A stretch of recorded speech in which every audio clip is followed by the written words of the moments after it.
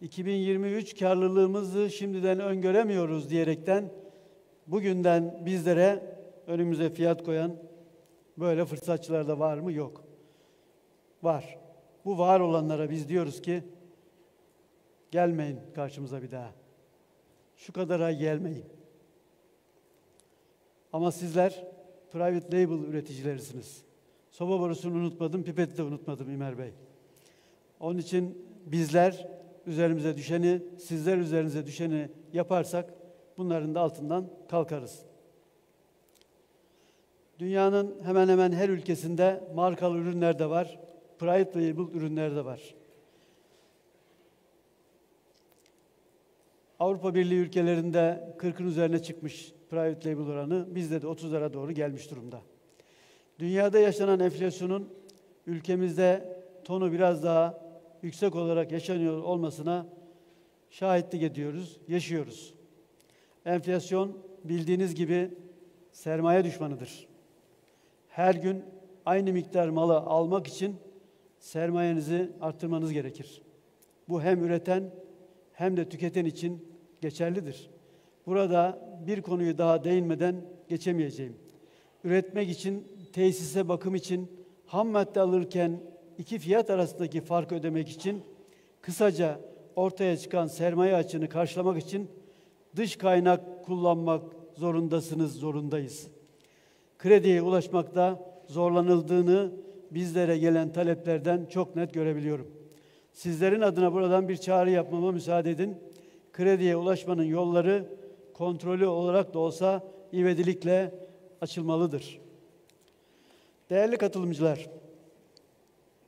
perakende işletmelerinin enflasyondan arındırılmış ve sadece nominal kar rakamlarına bakarak olumsuz yorum yapan tirollere, maaşlı televizyon yorumcularına, bizleri terörist ilan edenlere, bizlere vicdansız, hatta kansız diyenlere ve bunları gazetede yayınlayarak ahlaksızca bizi çete ilan edenlere ve tabirimi maruz görün çok daha kötüsünü söylemek istiyorum ama müsaadenizle gazeteci müsveddelilerine söyleyeceklerimiz var.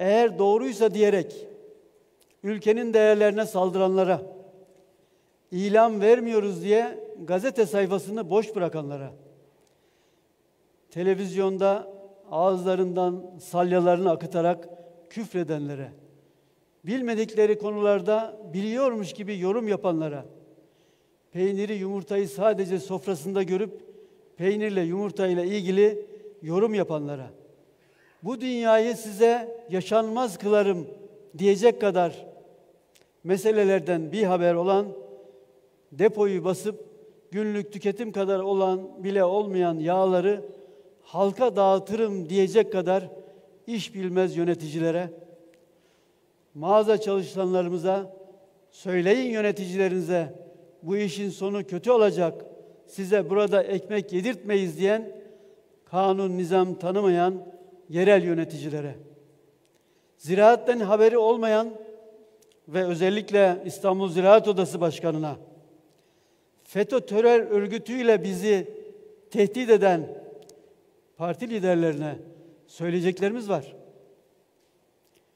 Bu ülkenin güzel insanları sizlerin yalanlarına hiçbir şekilde itibar etmediler. Bu süreçte o bahsedilen zincir marketler diye altına e, çizerek söylenen üç harfler diye bizleri farklı yere koyan ve bunları koymaya çalışan ve Müslüman olduğunu iddia eden bu insanlara söyleyeceklerimiz var. Lütfen aynaya baksınlar. Kendilerini göreceklerdir. Bunların hepsinde bir art niyet vardır. Bir algı yönetimi vardır. Bunlara tüketicimiz hiçbir zaman karşılık vermemiştir. Rakamları söylüyorum.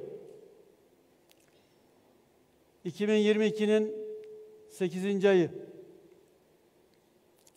tüketici fiyat endeksi TÜİK açıkladı bunu. yüzde 80.21. Üretici fiyat endeksi yüzde 143.75. Dokuzuncu ay yüzde 83.45 üretici, e, tüketici, yüzde 151.50 tüketici, e, üretici. 10. ay 85.51 tüketici fiyatı, 157.69 üretici fiyatı. Soruyorum buradan. Acaba bu aradaki rakamları biz mi yanlış okuyoruz? Bunun doğrusunu söyleyecek olan var mı? Burada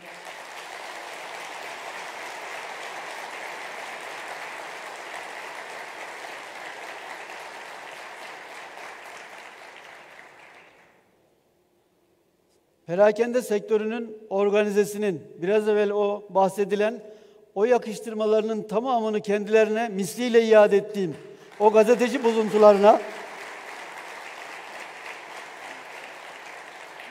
diyorum ki siz hesap da bilmiyorsunuz, kitap da bilmiyorsunuz. Bir de üstelik bu yayınları yaparken diyoruz ki doğrusunu söyleyelim, yayına da bizi almıyorsunuz.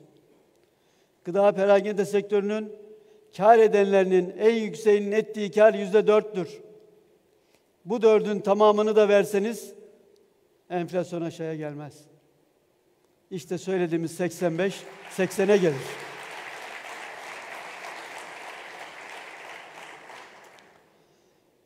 Bunu bile bile bire alıp üçe satıyorlar, bire alıp dörde satıyorlar diyecek kadar alçalan gazetecilere, oda başkanlarına diyorum ki bu algı operasyonunuzun vatandaşta karşılığı yoktur.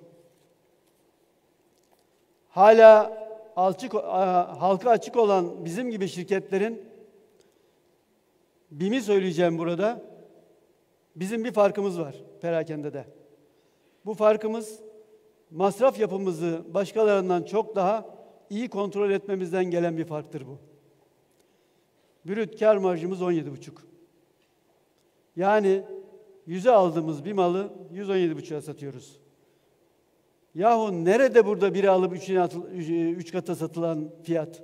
Nerede öyle bir ürün? Tüketici Hakları Derneği Başkanı televizyona açıklama yapıyor. Halktan diyor alıyorlar 100'e, satıyorlar 400'e. Kendisinin mail adresini buldum, ona mail attım ama hala cevabını alamadım. Dedim ki bizi 2 ile 3 ile uğraştırma. Öyle büyük marjlı yerler varsa söyle de biz oralara yatırım yapalım dedim. Bu gazetecileri himaye edenlere, onlara bu şekilde işlem yapın diyen perde gerisinde bizi hedef gösterenlere, aslında sizi hedef gösterenlere diyorum ki başaramayacaksınız. Bizim ülkeyi yönetenlerle bir sorunumuz yok. Bir sorunumuzun olmasına müsaade de etmeyeceğiz. Bunu buradan çok açık söylüyorum. Biz bu ülkenin temel taşlarıyız. Bu temel taşını yerinden oynatmaya da bunların güçleri yetmez. Bu kürü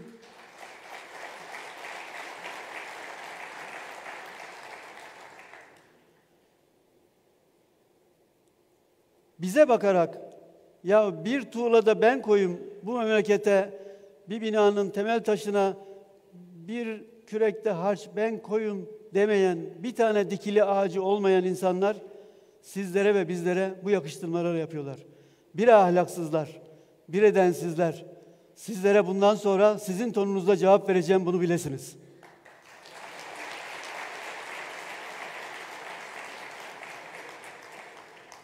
Bir iki tane konuya daha değinerek konuşmamı sonlandıracağım.